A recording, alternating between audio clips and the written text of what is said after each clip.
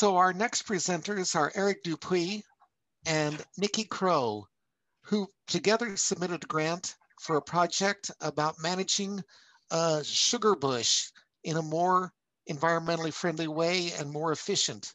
And so they have some um, great details for us. And um, I think for many of us who didn't know, we'll learn what a sugar bush is. So Nikki and uh, Eric, go ahead. Thanks, Wayne.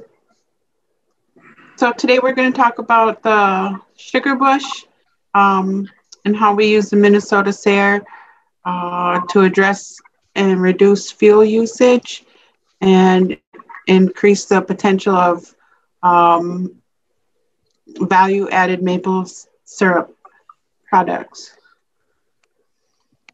And first question to answer is what is a sugar bush and um, how do you go about tapping trees for maple syrup products? Eric is our expert in everything sugar bush. I learned a lot from him. So I'll let him tell you more about his operation. So my name is Eric Dupuis. Um, I'm a sugar producer from Sawyer, Minnesota on the Fond du Lac Reservation. Um, I don't know, I grew up watching my grandpa do this, do it, and uh, I don't know, about 15 years ago or so, maybe a little longer. I don't know. Me and my dad started to um, make our own maple syrup. A sugar bush is uh, just a like kind of like an apple orchard where it's just a bunch of sugar, a bunch of maple trees um, in an area that makes it convenient to collect sap from. Yeah, the sugar maples is what we tap normally. As the sugar maple is uh, has a higher higher percentage of sugar than the reds or box elders or silvers, so we try to stick to just tapping the sugar maples. Um, anybody that's not familiar with it, it's you take the sap from the from the tree and boil it down and into syrup, or into sugar if you want to boil it down even further. So uh, Eric and I met about five years ago uh, when I was asking around for somebody who could help with a, sh- a workshop. We had an evaporator that we purchased through our tribal college extension program, but I had no idea how to um, use an evaporator. So I was introduced to Eric through his dad, who works at Resource Management. And um, that's where I started learning more about tapping the trees and um, and boiling down the sap. Eric helped with the workshops and the events. He would start out with the winter tree identification, uh, tapping trees and tubing, boiling the sap, canning and bottling. In our culture, in the Anishinaabe culture, Ojibwe culture, the maple camps would happen with families and communities. And this is kind of what we set up in our workshops and events where we would provide um, taps and bags, uh, bag holders to the community. And we would go out to a piece of county land on on the Fond du Lac reservation where we could all tap the trees. and Eric would would come out there with us to help us identify uh, those trees. And then show us how to boil the sap and can and and uh, finish and bottle the syrup. One of the needs that I found um, in talking to Eric was about finishing the syrup, and we wouldn't be able to complete that task without um, a better evaporator on his part or on our part at extension and a better filter. What I knew from working with Wayne Martin through SARE and having him come to the community and, and talk about the SARE programs. Uh, he's been to several events that we have over at Fond du Lac that there was this funding available. So I brought that to Eric and I said, What I don't know is how to explain what it is that you need. So he told me about his trouble with not having a filter press to really clean the maple syrup. So this picture here is of Eric. I hand drew this one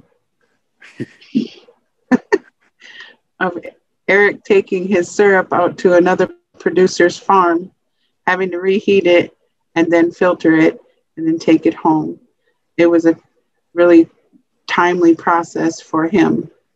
Well, one of the uh, problems that I had with uh, trying to grow grow my operation was that uh, the filter press. Uh, I would have to, like she said, I'd have to take it to a, another friend of mine, another producer. But when you take it off the evaporator, um, and and then you got to put it into a into a container, and then I'd have to take it out to his place, which this means I got to reheat the syrup. Well, before that, we used to filter through um, cheesecloth, and you leave a lot of sediment, impurities, uh, sugar sand, stuff that has been sucked through the roots of the maple tree, and that would come out. And once your bottles had settled, you would see that on the bottom of the of the jar, which wasn't good for commercial for for sale. So we decided that uh, a filter press would would be needed to have a good product, and it would also solve the fact that I would use less fuel to reheat, and uh, that would be more convenient and save time. And the evaporator, um, the evaporator I had, it worked, but you use quite a bit of wood. Um, it was taken it was taken probably I don't know half a cord to get a couple gallons of syrup, and uh, it also takes a lot longer when you're you don't well it takes about 40 gallons of sap to equal a gallon of syrup. So uh, it takes a while to boil this boil it down. My old evaporator i would get to boil around i don't know 35 to 40 gallons an hour. And I haven't got to use the new one yet, but it, I'm told that it can boil off 90 to 100 gallons an hour or more. So it'll definitely be more efficient, and I will use a lot less wood. So it's a little better on the environment as well. One of the things that, um, the favorite things um, that Eric would do when we were having the workshops and events was making the maple sugar. It's one of my favorite and I call it a very valuable value added product out of the maple sugar uh, and the candy. Some of the other things that you can make uh, value added products are um, maple cream, maple butter, maple vinegar. Um, but saving time now also gives Eric time to work on these other products as well. Some of the challenge you run across doing running the sugar bush is uh, weather. Uh, you, are waiting for waiting for the right temperatures to tap the trees. Um, you don't want it to warm up too much, or or it can end your season. Uh, the snowfall amount out in the woods is can uh, definitely be a challenge, especially before the tubing, where I had to try to haul the sap out of the woods with with four wheelers or whatnot. So that made it very difficult. But now that we've got the tubing in the woods, it's a lot simpler. Um, the uh, the COVID this year that was that was a big challenge. That was I had to file an extension this year due to the fact that with the uh, social distancing and quarantining, it made it tough for family and friends, you know, with the social distancing to actually to do the full uh, sugar bush this past year. So that is also an opportunity that um, Minnesota SARE has in their grant program is extending the grant period. It's a no cost extension, and lots of USDA grants have this option, and other programs will have that option as well. so, in order to eh, eh, this project to end uh, February of this year, we'll be able to go until February of next year and and get some of those things done in, that we set in the grant uh, for for next year the other opportunities is um, hopefully Eric is uh, willing to apply for more grants and uh, he actually has applied for other grants. and then um, networking with new customers uh, with new products. with, through the SARE grant, as far as the funding was concerned, he was able to upgrade the his evaporator and the pans that go with it, um, and the the filter press with the nine thousand dollar farmer rancher grant. What was important was that Eric knew what he needed, and I had the um, the experience of writing grants. So what I told him was I needed to know what he needed and I could put it in a grant language that SARE would understand what he needed. And I called up Wayne and Kate or emailed and just let them know here's an idea of what I have working with one of our local producers. And they said that's a good idea. And um, you know, they I know Wayne gave his phone number and Kate's phone number, and they're always quick to get back to you, even when uh, they're working from home and during the COVID. So that's always helpful when you're when you're going for grants. Um, is just to give those folks calls. Their numbers are on there for a reason. Run your ideas by them if you're not experienced in writing grants or finding somebody from an organization who is and asking for their help. That's what provided uh, the opportunities uh, for for us over at Fond du Lac to have somebody that could show us more just by being able to upgrade their equipment with um, some necessary funding. And we just want to say um, or thank you. This is Eric's email and my email if you have any questions. Eric can answer any questions about the sugar bush and I can maybe answer some questions about uh, funding sources. There have been a couple of questions that have come in. Um, first of all, why why does the sap harvest stop with warm weather? Why is it stopped by warm weather? Doesn't the well, sap run all, all summer long? It has to do with the pressure, like the barometric pressure, and then when it's when it's cold and when you get the the cold nights, like below freezing nights, and the warm days creates a positive negative pressure in the tree and also the fact that is when you start getting warmer weather, the tree senses that wound because you drill a hole into the tree, and so when you drill that hole, that tree senses that that hole is there, and it can feel that there's um, there's bacteria entering that hole. So the tree will start to encapsulate that hole and start to shut the sap flow off. So the hotter the weather, the more bacteria and the quicker the tree shuts down. So, a question too about how climate change is affecting syruping. Are you noticing an impact from climate change? It seems to be. Uh, we're not getting nearly as much snow on the ground, it seems, as we used to. Uh, it's definitely seems to be warming up sooner. Our season seems to be shortening, I think. I think so, where we live, where I live, where we live right here, right now, is kind of odd. Anyway, we're so close to Lake Superior. There's Lake Superior. I think the it uh, you I think it warms up down when you're right next to the lake a little bit sooner. But we don't quite get that effect here. So it's it's colder here earlier in the season, but yet we get that warm up um, a little sooner. So yeah, I think that the I think it's affecting us. So has it affected the um, the total amount of production? Has it reduced um, your harvest? Yes, it does reduce the harvest. Like I say, when it shortens the season, um, you, when you're not getting those, like I say, we get those really un, unusually warm days earlier in the year, and uh, like I say, that introduces the bacteria into the tree and, and it starts to slow your production down. Hmm. How much time does it take to break down the evaporator? And how often do, do you have to clean it?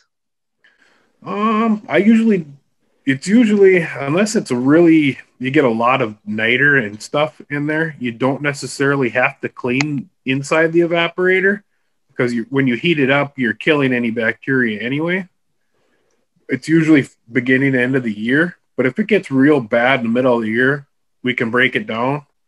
And my size, this new pan here will take a little bit longer to break down, probably it'd probably take a couple hours to uh, break it down and clean it, but it's not terrible. It mm-hmm. uh, pans pretty much just set on there. A couple more questions have come in. Um, did translating indigenous or traditional cultural protocol become a challenge in the grant writing process? No, I I don't think we had to um, that we had to put that into the to the grant at all. It is something that we talk about. Eric and I will tell the story about um, how we first had an abundance of sap available to us um, and then how it got taken away from us and it was harder to receive the sap because we were lazy and greedy people that's a short really short short version of the story about Nanabijou and maple sap and why we tap the trees the way we do now hmm. we'll feast the trees in our own ways with our families or our friends uh, before and after. And that wasn't anything that we, f- we felt like we needed to write into the grant.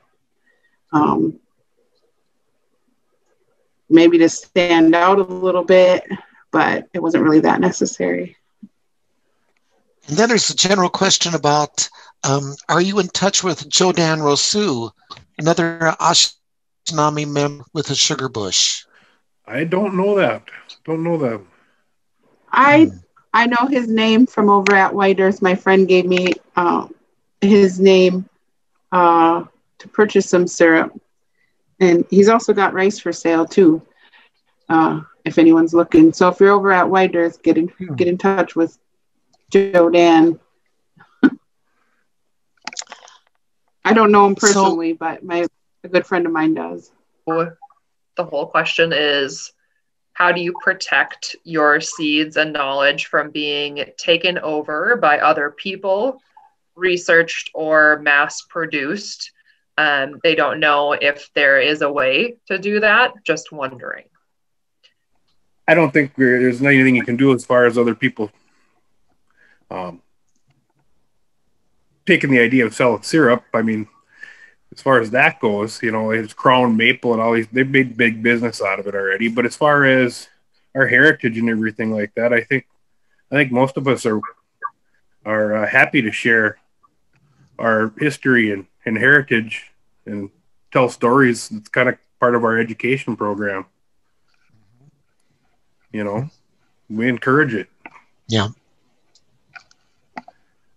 I think it helps uh, educate people on more than just the process of maple syrup, but on natives as a whole and the history and and their beliefs of you know being willing to share. Nikki, any thoughts? Just overall is knowing where you, you're buying your seeds from.